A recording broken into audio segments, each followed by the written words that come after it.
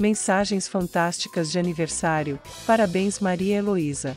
Uma das grandes bênçãos da vida é a experiência que os anos vividos nos concedem. Aniversariar é uma amostra das oportunidades que temos de aprender a contar os nossos dias.